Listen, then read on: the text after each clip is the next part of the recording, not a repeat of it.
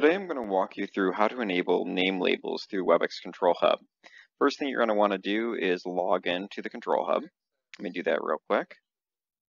And you want to make sure that you're logging in as the admin, so that way you can change these settings in Control Hub. If you're logging in at the reseller level, you would want to actually go into your customers first. So click on customers, and then click on the actual customer that you want to enable this for. Uh, please make sure that you have actually admin rights at that customer to be able to make this change. If you are the customer itself, you when you log into Control Hub, you'll log directly into your view. So this is the overview page. From here, you're going to actually want to go under settings. Once you click that, you can scroll down to face recognition. As you can see here, I've already had it turned on. If you didn't have this turned on, you just have to click this little toggle button to turn it on. From there, you can actually invite the users. So if I click on invite users, it'll actually create a standard invitation for this with the link that they're supposed to go to to enroll and stuff like that. So uh, you can create the email directly from here or copy it to your clipboard and then paste it into your own email that you send out to a distribution list, whatever you'd like to do. And then to further enable this, you're going to have to switch uh, and have the individual users actually set this up. So let me actually switch over to that real quick. So this site is settings.webex.com. I'm going to log into here just like I logged into the other system. So let me do that real quick.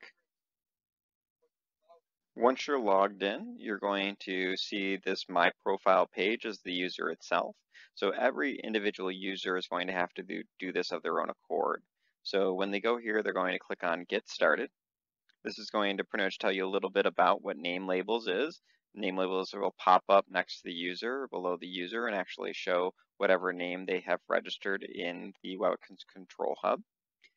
If you scroll down a little bit further, it'll tell you a little bit about your privacy and that uh, you're giving them access to your face to be able to create this profile for you. And then you can always delete this at any given time in the future if you don't want to participate any further. Uh, you're going to click on Get Started. And then the next thing you're going to do is you want to make sure that you give the system access to your camera. So it's going to give you a little pop-up in the top left corner. It's going to ask you, can I access your system? And you're going to say yes Uh, allow, and then this will change over to your camera.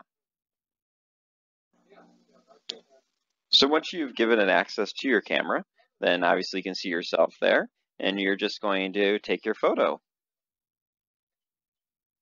Cheese. From here, you can actually uh, retake the photo itself. So in this particular case, it's using the demo user name because that's what I logged this user as in my control hub. Uh, but if this was you yourself, it would have your name below this to, or your associate's name below that if they're logging into this.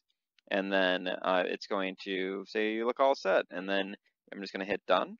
And it's now recorded that face as the mathematical equation of what I look like. So when I go into use this with a room system, it's going to try to figure out, is this me based off of my teams and who's in the room?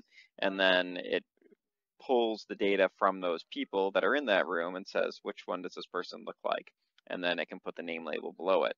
If for some reason I want to edit this, I can click on that again, and I can either delete it out, or I can actually uh, take a new photo here and I can turn on and off my show your name label if I want. So I can still have my information in there, but doesn't actually show my name label below me if I didn't want it to. But from here, I can then uh, back back out and it'll all be set up for me.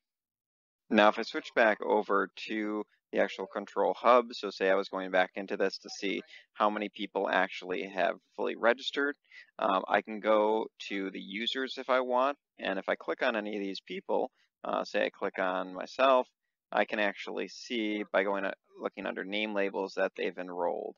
So if I look at, say, this particular user, I can see that they've enrolled in name labels. Click on this particular user, I can see that they have not enrolled in name labels. So this is a quick way to see how many people are or are not particularly uh, activated in the name label section, or if somebody's complaining, hey, it's not working, uh, they tell you, tell you they set it all up in the system, that you can easily see, go underneath them, hey, no, you actually didn't enroll yet, go back in there, reprovide the link, whatever you need to do to get them to sign up.